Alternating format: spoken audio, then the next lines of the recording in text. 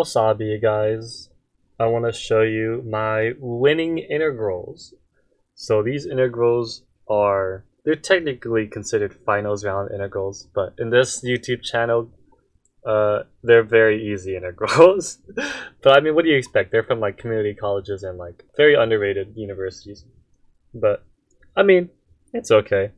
So here are these uh, integrals that I've solved and made me win the integration bees. Okay, let me start with my first integral that made me win.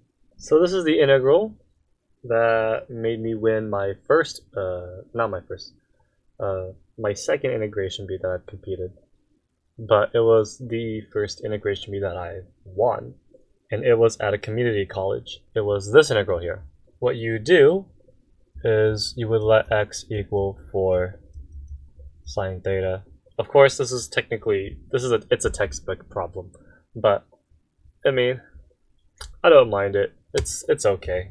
I'm not gonna complain because I mean it's it's you know like what do you expect from community college integration bees? There a lot of a lot of times uh, easier integration bees or beginner integration bees. Uh, a lot of the problem writers or the uh, staff and faculty they'll just use the calculus textbook, and that's okay, I guess. So I was given this. At least it wasn't ugly, thank goodness.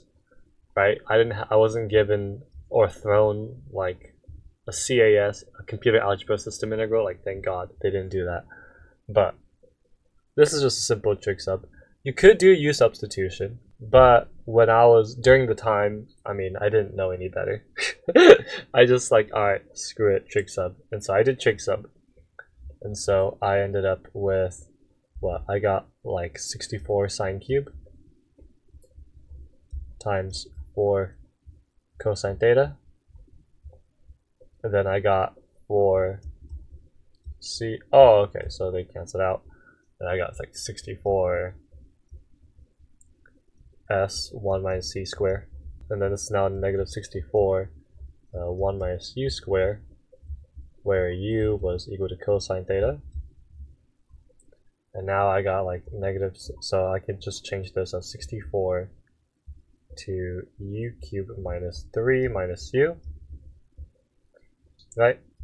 And then now I got 64 over 3 cosine cube of sine theta.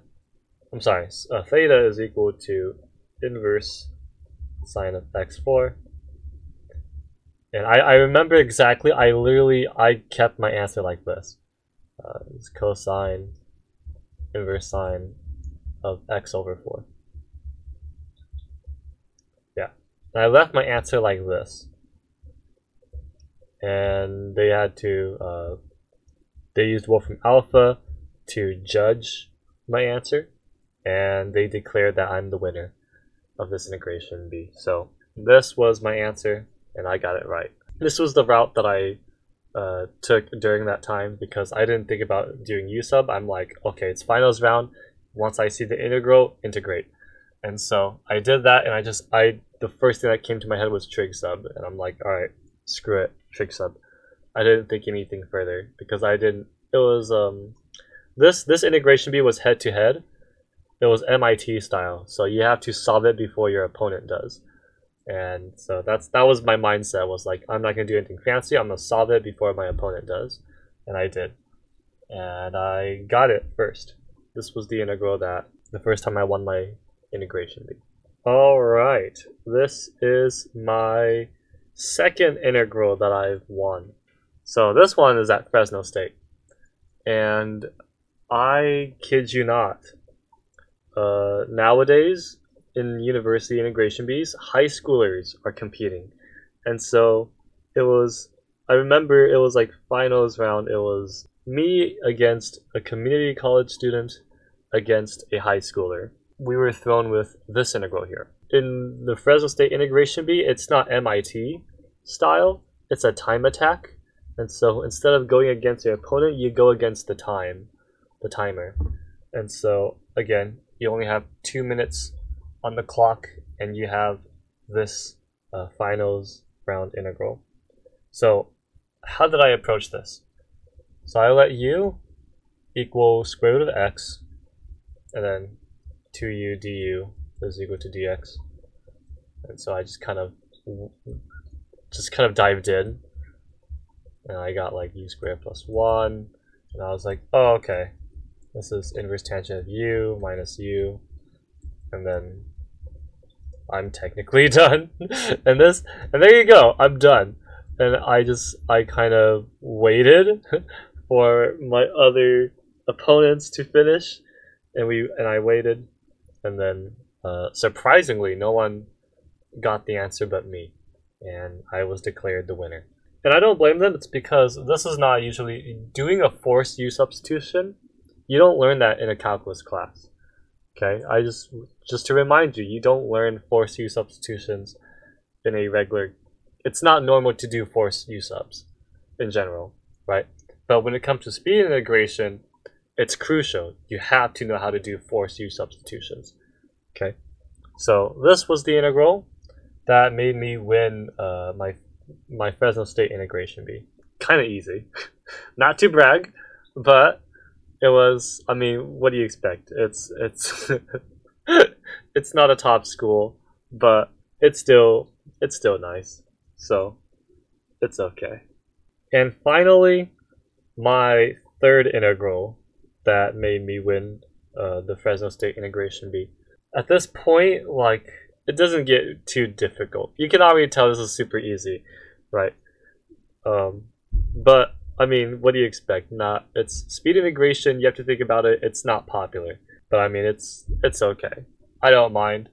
Um, this is even though this is kind of a textbook integral, I can tell, uh, but I don't mind. I'm like, yeah, all right, I'll just I'll just integrate this.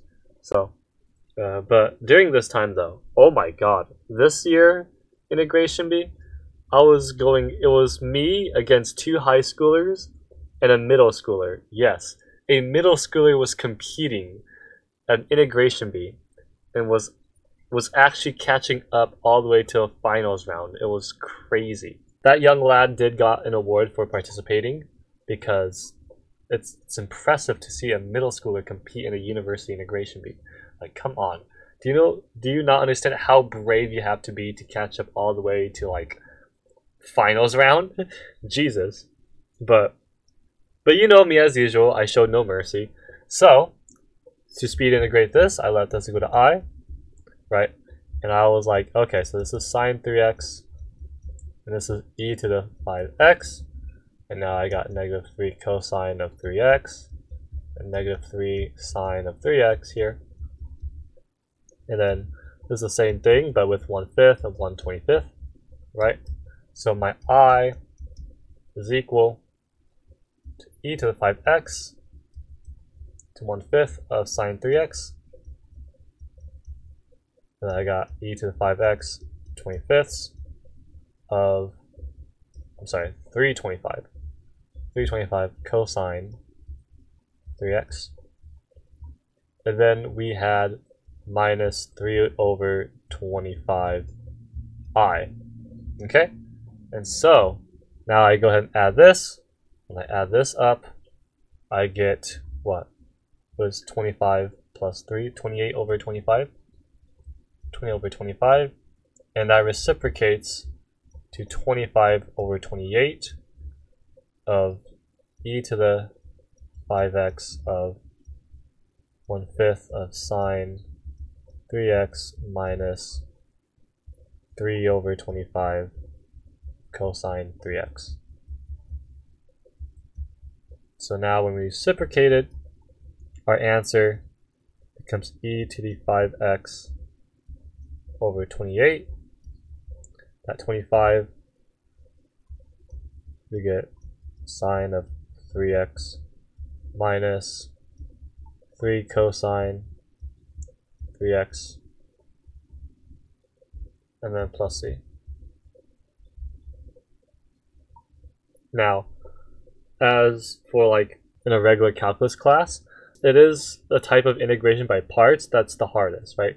Doing a recursion like this, recursion integration by parts, is the hardest integration by parts because it's not very. It, I mean, look at this. It's a mess. right? So for a lot of students, they will lose track very easily and they would get the wrong answer. And so, of course, I was the only person that got it right, and I was declared winner. Uh, and I don't blame them because this is look, come on, like this is nasty. Twenty eight over twenty five, right? You you know if you miss a constant, that's horrible, right? And doing this, especially like speed integrating, like this takes a lot of time. You know, I just have speed integration experience, so I was able to do some abbreviation shortcuts. I know how to keep track and uh, keep track of my notation and then just solve.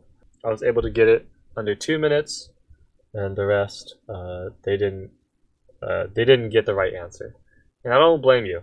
Right? If you rush, if you rush, try to speed integrate, uh, you're you're less likely to be accurate.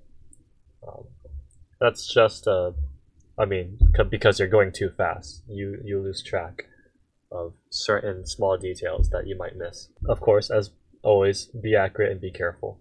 So yeah, this was my winning integral. So that's it. So those are all the winning integrals. I know these are very easy, but like, what do you expect? I don't I don't go to a top school, so uh, but I mean, let's face it. I think it was a great integration bee because you do have to think about your audience. You can't just throw, oh, it's still a hard integral because it's like entertaining. No, you do have to consider. You have to be very considerate with your comp- uh, with the competitors, the type of audience that you have, whether they're actually, you know, like MIT students. Oh, they're very good, or community college students. They only know like basic integration, so keep it, you know, keep it at minimum.